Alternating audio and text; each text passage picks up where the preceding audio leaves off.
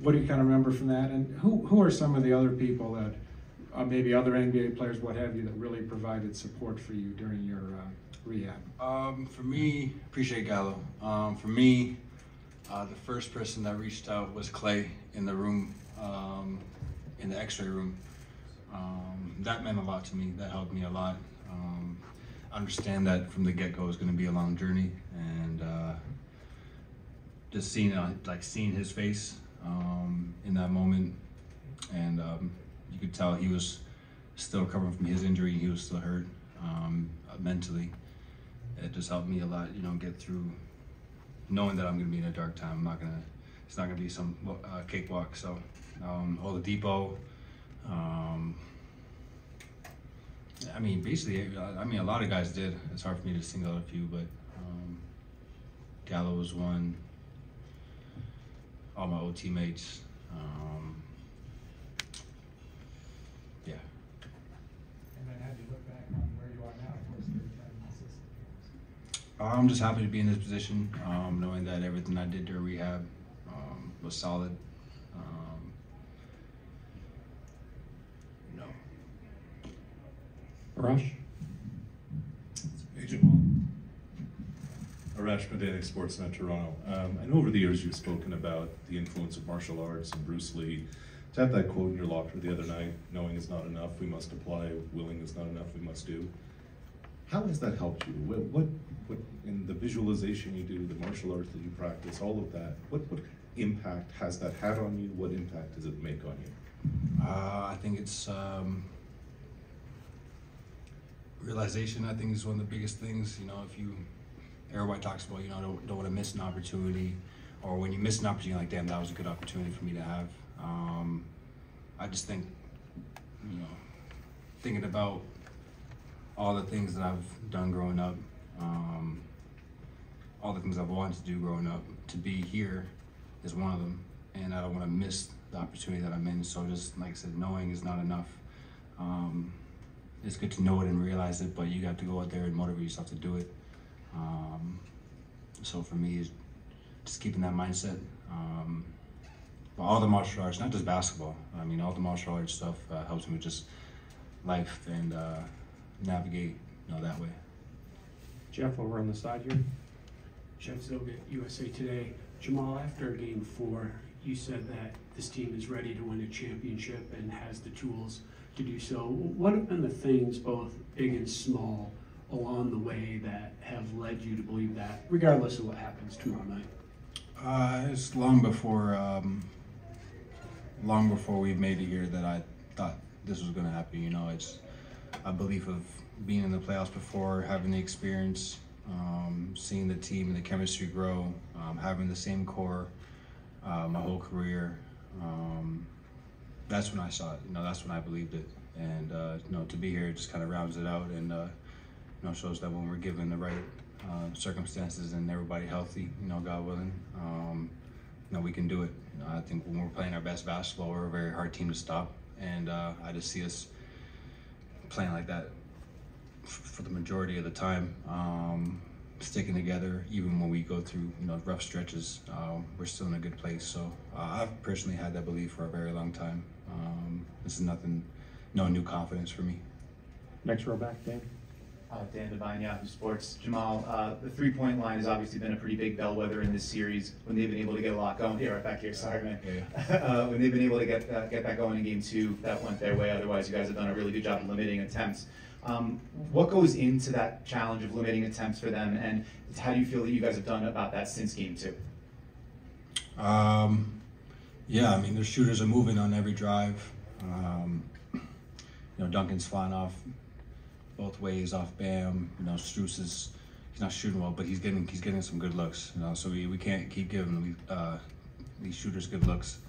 Um, for us, as long as we as long as you know we know they're gonna make shots, but as long as we, we keep our discipline and don't give them the open stuff, I think we're in a good spot. You know. Uh, we gave them a couple of easy layups, easy dunks last game. You know, we, we take those away. Uh, we take away a lot of life they have and um, kind of just shut down th- their offense. You know, we're, we're staying home with shooters and allowing AG to play one on one with Jimmy a lot. Same thing with Yoke. So, um, it feels like we're playing to take away the three, and they're still getting some good looks. So I think we're just keeping our intent, our aware, our awareness up on drives and um, those test situations, offensive rebounds, um, finding the shooters, getting back in transition. So just taking the easy ones away and making them have to, you know, if they're going to hit shots, that's over a, a contested hand. In the back center. Later, Jamal. Uh, Michael Pina, the ringer. Uh, obviously, Nikola is a two-time MVP. He's a runner-up for the award this season. But have you seen him play better ever than he is right now? Um, no, maybe one day in practice, but no. Um, he he's very uh, smart with his tactics, um, the way they front him or deny him. Um, you know, we, we don't really fight a lot of the pressure that we both get. Um, and just seeing him make quick decisions. You know, if the pass is open, there's no hesitation. Even if he turns it over sometimes, uh, he's just taking what, what the uh, defense is giving him. But some of the passes he makes um, and how quick he'll make them, I think that's what impresses me the most. Um, there's no hesitation with that. You know, some guys don't hesitate with their jump shot. You know, they just go right into the shot no matter what. He does the same thing with his passing, and it's hard to guard. Hard to, definitely with AG and the dunker, it's hard to guard him. Um, and have that guy step up and be in a tough spot. Um, so Yoke's just holding the ball for a half a second longer and figuring it out. And he's been doing that for so long um, on different levels. And uh, you know, he won his first MVP, and then his numbers were better than the second MVP, and then his numbers are better during during now. So um, yeah, I think uh, I think there's more to come actually from Yoke. I think he can get a little bit. I think we haven't seen a side of Yoke that we're going to see, um, where he can be just pure dominance uh, all the way time, or the whole game, um, even more than he has been. Alvaro standing on the left. Alvaro Martin, NBA Latin America, NBA Mexico. There's a quality about this team right now in this series that when there's a problem, you fix it and you never go back and make that mistake again. Over helping the three point shot, pick and roll, the zone, how to disarm the zone. There's an element that you see the problem early, fix it, and then you never go back and make that mistake again. Is that something that we're seeing this series more often perhaps than, than usual? Is that something that's part of the uh, DNA of the team? Yeah, um, I, you know, it's just, uh, it's like when you're trying to teach something and they keep making the same mistake over and over. Um, you know, how many times have we gone back and seen us not get back in transition? How many times um, not boxing out, ball watching, all that stuff? You know, I think once once we just be aware that we're doing that um, in the moment in the game, you know, we have a quicker, even if it's half a second, we're just realizing a, a second quicker, um, and we're all making the, the the right effort to make up for that mistake. So. And a lot of it is, is even if we do make a mistake, there's there's somebody behind it covering for you, you know. So, um, as all of us being on a string and all of us understanding what we're trying to accomplish. Obviously, they're manipulating stuff. You know, they'll get a few here and there, but as long as we're on the same page, um, we'll be good for 48. Last question on your right.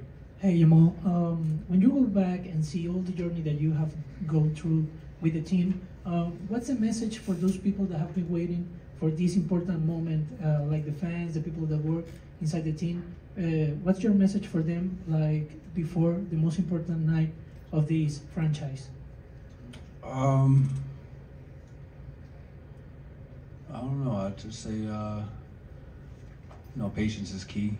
Um, you know, nothing happens overnight.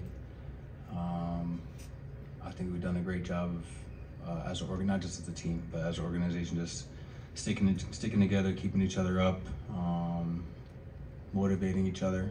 Um, you know, we got Stan and Josh in the locker rooms, um, win or loss, uh, which means a lot.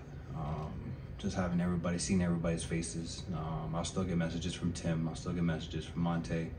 So that everybody's been part of the journey understands what we're about, and um, it's just nice to see us be a, a big family and understand what it takes to win. And um, uh, it's your fault. but yeah, uh, it's been a journey, a lot of fun. Um, we got more work to do. Yeah, man, it's your fault. Thank you. Appreciate it. It's good. Yeah, thank you.